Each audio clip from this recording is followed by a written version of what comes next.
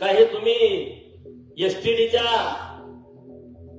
नादात किती दिवस गुरपटणार एसटीडी म्हणजे काय?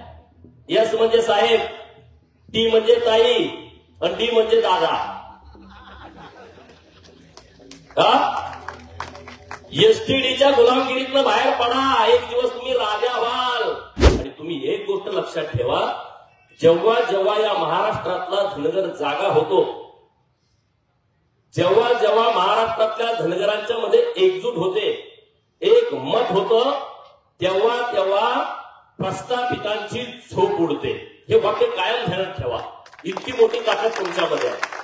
दोन हजार चौदाला तुम्ही सगळे एकत्रित आला सरकार उलटून गेलं. आलेल्या सत्ताधाऱ्यांनी कबूल केलं आम्ही धनगरांच्या मुला जे पडले त्यांनी कबूल केलं की आम्ही धनगरांच्या मुळे घरी बसलोय. अरे मग ही जर इतकी मोठी ताकद इतकी मोठी शक्ती जर आपल्यामध्ये असेल तर आपण अन्याय कशासाठी सहन करतोय? काय कारण आहे? डॉक्टर बाबासाहेब आंबेडकर साहेबांच्या पुतळ्याच्या समोर आपली सभा आहे. आणि बाबासाहेबांनी सांगितलं होतं गुलामांना गुलामगिरीची जाणीव करून दिली तर गुलाम पेटून उठतो आणि बंड करतो. तुम्हाला गुलामगिरीची किती वेळा जाणीव करून दिली तरी तुम्ही बंड का करत नाही? का पेटून उठत नाही? का तुम्हाला राग येत नाही?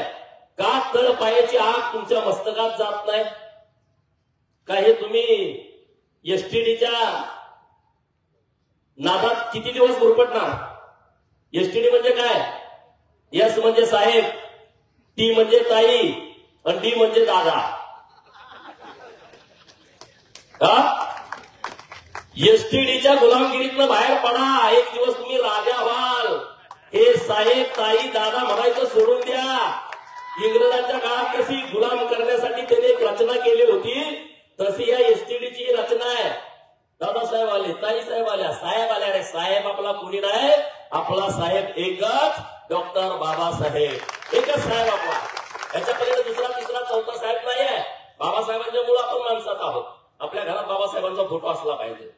मी हक्कानं सांगतो कारण माझ्या घरात बाबासाहेबांचा फोटो आहे आणि मी रोज दर्शन घेतल्याशिवाय मी घरात बाहेर पडत नाही. कारण इतकी ताकद बाबासाहेबांनी आपल्याला दिली. आणि त्यामुळे साहेब हे म्हणणं सोडून द्या. ते दबावात राहायचं त्यांना काय वाटल कोण काय म्हणतील जवळच्यांना काय वाटल? अरे ते जवळच्या सोडून द्या. ते तिथं बुट चाटतच बसले त्यांचं नाक सोडून द्या तुम्ही. तुम्हाला जर राजकर्ती जमात व्हायची असेल तुम्हाला जर हक्काचं आरक्षणाची अंमलबजावणी करायची असेल तर धनगरांच्या पुढे एकच पर्याय आहे की तुम्ही संघटित होणं तुम्ही एकजूट होणं आणि निर्भीडपणा या प्रस्थापितांच्या विरोधात लढणं. याच्या पलीकडे दुसरा तिसरा चौथा पाचवा पर्यायच तुमच्यासमोर शिल्लक नाही. महाराष्ट्रातील सर्व बातम्यांचे विश्वासार्ह व्यासपीठ. सकाळच्या सर्व सोशल मीडिया प्लॅटफॉर्मला लाईक फॉलो आणि सबस्क्राईब करा. तसंच सर्व नोटिफिकेशनसाठी बेल आयकॉन प्रेस करायला विसरू नका.